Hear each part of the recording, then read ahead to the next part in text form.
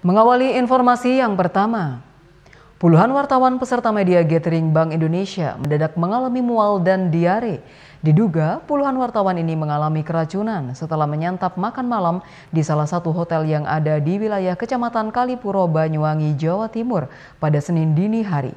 Seluruh korban langsung dilarikan ke rumah sakit untuk diberikan perawatan. Puluhan wartawan dari wilayah Jawa Timur yang mengikuti media gathering Bank Indonesia di Banyuwangi tiba-tiba lemas hingga mengalami mual dan diare pada Senin dini hari. Diduga, para korban ini mengalami mual karena keracunan makanan setelah menyantap makan malam dengan menu seafood di salah satu hotel yang ada di Kecamatan Kalipuro, Banyuwangi. Sebagai tindakan lebih lanjut, seluruh korban keracunan ini langsung dilarikan ke rumah sakit guna diberikan perawatan medis.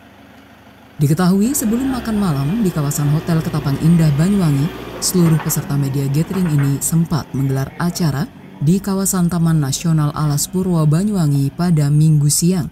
Di sana mereka juga sempat menyantap sejumlah sajian makanan termasuk makanan olahan seafood. Belum diketahui apa yang menjadi penyebab pasti mengapa seluruh peserta ini hingga mengalami keracunan. Seluruh peserta yang menjadi korban rata-rata mengalami gejala keracunan saat mereka berada di kawasan hotel pada Senin dini hari. Salah satu korban mengaku, selain diare, para korban rata-rata mengalami sakit yang amat sangat di bagian perut hingga terasa melilit. Selain dirawat di RSUD Belambangan, beberapa korban juga ada yang dilarikan ke rumah sakit Yasmin dan Fatimah untuk mendapatkan perawatan. Meski tergolak lemas, seluruh korban keracunan sudah tertangani dengan baik oleh tim medis di Banyuwangi dan diperbolehkan kembali ke hotel untuk beristirahat. Pagi itu saya makan uh, apa?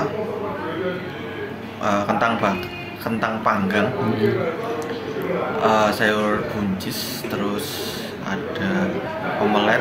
Ya saya kira ya normal-normal aja, hmm. buah.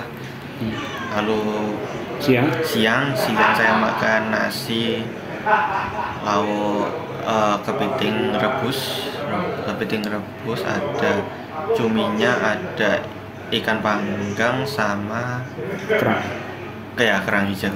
Ada hmm. kerang hijau juga. Terus malam? Lalu malam saya makan ada bakso buah ayam betutu. Nah, habis itu ada sundukan uh, udang sama cumi. Udah Uh, saat tiba di hotel dari setelah berwisata ke Alas Purwo dan Jawatan itu pulang ke hotel. Nah, sampai di hotel uh, perut sudah gak enak. Waktu itu sudah sering BAB dan encer. Ya. encer cuma alhamdulillah tidak sampai mengalami gejala lain. Hanya yo itu karena diare efeknya kan lemes. Akhirnya pada saat uh, dinner tadi malam saya sempat menyantap mm, menu makan malam di hotel itu bakso. Cuma waktu itu langsung keluar karena memang sebelumnya sudah ini. Ya.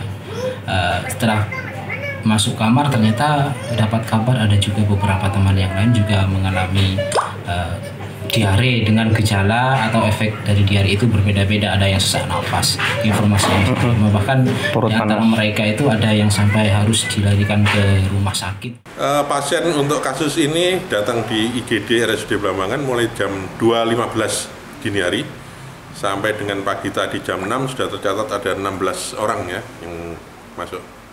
Kondisinya bagaimana di pasien-pasiennya? Kondisinya keracunan ringan sepertinya dan mereka semuanya bisa pulang dengan obat jalan.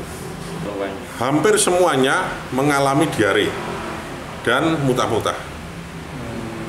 Dua orang mual aja nggak sampai mutah. Yang terparah bagaimana dok? Semuanya nggak nggak ada yang sampai parah ya karena eh, kasus keracunan seperti ini yang terparah kan dehidrasi. Kalau dehidrasi ya perlu perawatan rawat inap, perlu diinfus kan ya. Tapi kenyataannya semuanya bisa rawat jalan, artinya tidak ada yang sampai beratnya atau parah.